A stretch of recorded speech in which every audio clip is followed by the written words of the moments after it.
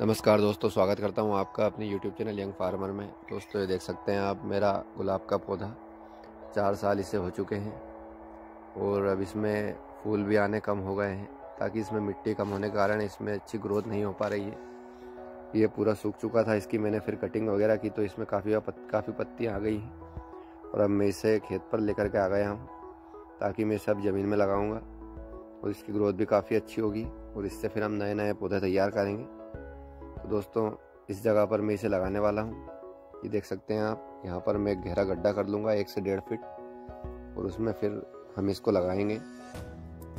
तो ये देखिए दोस्तों, यहाँ पर मैंने एक डेढ़ फिट गहरा गड्ढा कर लिया है, और अब हम इसे इसमें लगाएँगे।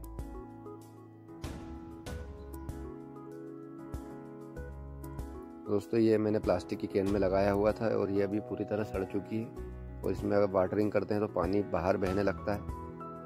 इससे ठीक से इसमें मिट्टी में भी पानी नहीं रह पाता है। तो अब हम इसको इसमें लगाएँगे और काफ़ी फर्टिलाइज़र जो जो मैंने इसमें यूज़ किए हैं, वो इस वीडियो में बताएँ वीडियो में अंत तक ज़रूर बने रहना। ये देखिए दोस्तों, मैं यहाँ पर ये फंगिसाइड है ये, और ये यूरिया है। तो इसके साइड में एन पी के पंद्रह पंद्रह है। और यह सिंगल सुपर फॉस्फेट मैं इन सब का यूज़ करूँगा ताकि जो हमारा गुलाब का पौधा है वो और अच्छे से ग्रो कर सके।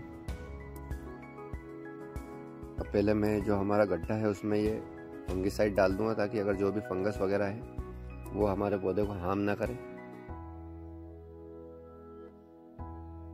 दोस्तों, ये कैमरा ज़्यादा हिल रहा है, मैंने खुद ही ये वीडियो बनाई है। थोड़ा एडजस्ट कर लेना। देखिए, मैं इसमें फंगिसाइड डाल रहा हूँ। और अगर आपके पास फंगीसाइड नहीं है तो कोई कोई दिक्कत नहीं है। और अब मेरे पास रखा हुआ था खेत पे, इसलिए मैंने इसमें डाल दिया है। अब मैं इन सारे फर्टिलाइज़र फंगिसाइड सबको मिक्स करके और ये हमारे गहरे गड्ढे में डाल दूँगा, ताकि हमारे पौधे को मिलते रहें। और मैंने पौधे के साथ इसलिए नहीं डाला, ताकि अगर ज़्यादा फर्टिलाइज़र हो जाएगा तो हमारा पौधा ख़राब होने के चांस भी रहते हैं।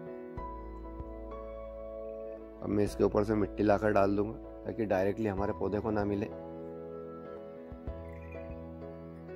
ये देखिए, मैंने इसके ऊपर मिट्टी ला करके डाल दी। अब इसके ऊपर हम पौधा लगा देंगे। देखिए, मैं इसकी सारी प्लास्टिक हटा देता हूँ दोस्तों।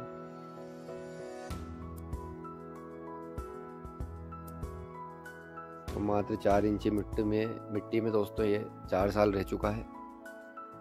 पर इस साल अगर गर्मी में सरवाइव नहीं कर पाता, इसलिए मैंने इसे खेत पर लेकर के आ गया हूँ। दोस्तों, अगर अभी तक आपने हमारा चैनल सब्सक्राइब नहीं किया तो सब्सक्राइब कर लें बेल आइकन दबा लें। ऐसी नई नई वीडियो आती रहेंगी।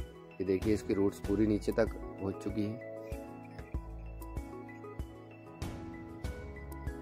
अब मैं इसको लगाने जा रहा हूँ, दोस्तों। देखिए, मैंने इसे रख दिया है उस गड्ढे में। और अब ये बड़ा, थोड़ा चौड़ा रहने के कारण हमें इसे हाथ से दबाना पड़ेगा मुझे।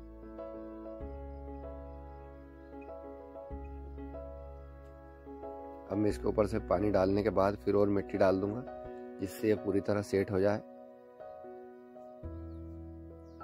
देखिए, मैंने इसमें पानी डाल दिया है। और अब इसके ऊपर थोड़ी सी मिट्टी डाल करके इस तरह आप अपने गुलाब के पौधे को ट्रांसप्लांट कर सकते हैं और मैं इसकी आपको जो भी अपडेट रहती है वो देता रहूँगा। कोई भी सवाल हो तो कमेंट ज़रूर करें। ऐसी नई नई वीडियो आती रहेंगी। धन्यवाद।